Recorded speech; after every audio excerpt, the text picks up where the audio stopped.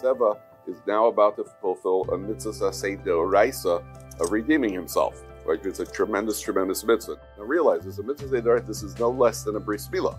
A circumcision is also mitzvah say deoraisa. This is a mitzvah say deoraisa, no different than putting on tefillin or anything else. Baruch atah Adonai Eloheinu melech haolam asher kiddushanu b'mitzvotav v'tzivanu al pidyon habechor. Amen. Baruch atah Adonai Eloheinu melech haolam she'echianu Yivanu, ve'kivanu Vigianu, ve'kigianu Lazman, lezman chazeh. Hazeh. Amen. Oh, one second, one second, one second. Now you give this to me. Now this is you have just fulfilled the mitzvah. Daim b'diyum bracha. Zeh tachat zeh, zeh chiluk zeh, zeh mochol al zeh, v'yikanes zeh ha-bechor l'chaim l'toyra l'yira shemayim. V'yiratzon sheb'keshem shedichlas l'pidyon, ken yikanes l'toyra u'lechupa u'lemaisim toivim obein. Baruch ato Adonai Eloheinu melech haolam b'yirei pri agafen. Mazel tov.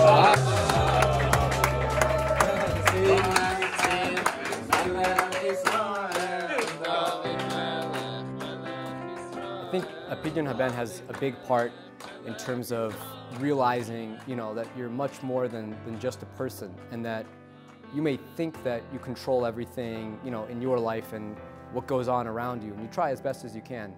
But it really makes you realize that, especially having it later on in life, um, really does make you realize that that's not the case. And what we're here for is really to serve Hashem and, you know, to, to do His will here um, on, on earth.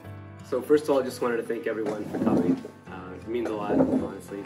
Rabbi Geffen mentioned maybe I should speak a little bit about my life story, where I came from. So originally, I was born in Belarus. Uh, my family moved to Cleveland in 2000. I was about five years old, and I grew up traditional. You know, we went to day school. I had a bar mitzvah. We learned about Shabbos, about all the holidays. Um, but I lived a pretty normal life. Through the Birthright program, I ended up in Israel for 10 days. I had an amazing experience. They showed, you know, a lot of what the country had to offer. Got a glimpse into kind of a bit of Judaism and I was very interested to explore that further. And I decided that it would be worthwhile to pursue that and to come to Ohr Somayach and learn. So before coming to Ohr Somayach, I was learning by Rabbi Brog um, over in, in Wickliffe, Ohio. And I felt like, you know, for me it was so incredible to see, you know, how people were learning Torah and, you know, the appreciation and the deep understanding that they have for Judaism in general. And you know, I have to give a big thank you to Rabbi Brog um, for really pushing me to come and really pushing me to gain the fundamentals that I was missing back home in Cleveland. Coming to Ohr Somayach for me, it, it's just it was such an amazing experience. You know, being able to be around people with a similar background, being able to learn Hebrew. When I came here two years ago, I didn't even know how to read, you know, the Aleph Beis.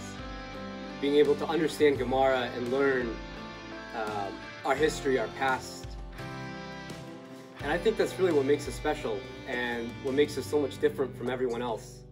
It's that we have this connection of Judaism, we have this rich and deep history behind us and this tradition and our family and our culture. And that's what brings us all here together today as brothers. Sometimes there are crossroad choices that a person makes. And the crossroad choice that you make, this applies in areas like who you choose to marry, what kind of job you decide to go into, who you choose to marry, uh, if you're going to stay in your yeshiva for longer, who you choose to marry, and other decisions in your life which are going to affect the rest of your life. And I don't think for a minute Seva has regretted it with all the challenges and all the forfeiting of the opportunities. I think that Seva is a sterling example of uh, a person made the right decision in life, and now he's going to reap the benefits. And he, as it says, kotzetz et hapirot. Now you take in the harvest. Yes, sir. Uh, Coach Rocha to grant us siyata d'shmaya, and we should continue. So thanks so much for being here.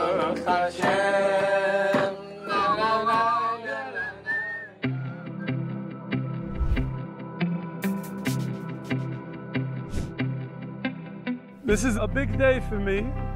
It's uh, my first, hopefully, a good start for many more siyumim, Yimir Hashem. But it's my first siyum hashas. And uh, I can't start the Siyum without starting at the beginning. I was standing at the JCC in Omaha, Nebraska. All of a sudden, somebody drove up with a station wagon and he brought two boxes and said, I'm donating these books to the library. And then he dropped another box and he said, This book, this box, if you could just toss out for me. And I opened the box and I take out, in an excellent condition, never used, full set Shas Bavli in Omaha, Nebraska. And that's how it started. The next stage is when we came to Israel and Rav Schiller invited me to join the staff at Ohr Somayach. And we had a conversation, and the Rosh Yeshiva said to me, if you're going to work in Ohr Somayach and live in Rehovos, there's no point in working for Ohr Somayach unless you're going to learn on the bus. And that left a very, very important mark on me.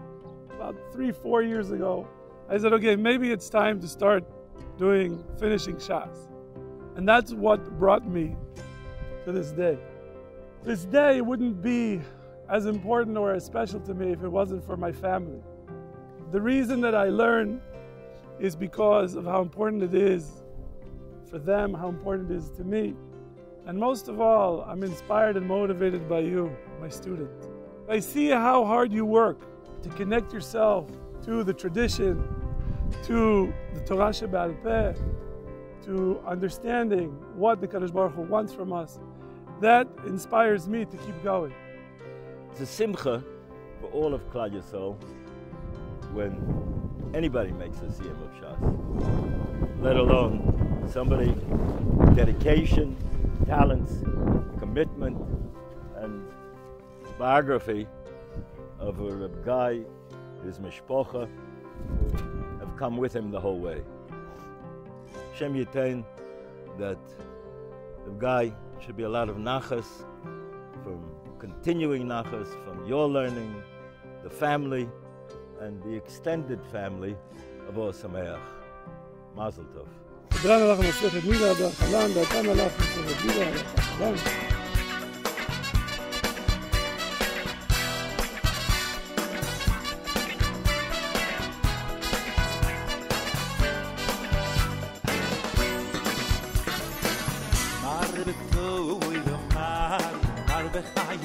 مرد یشیب و مرد مرد خوب و مرد ایتو مرد مرد سبون و مرد مرد دوک و مرد شلو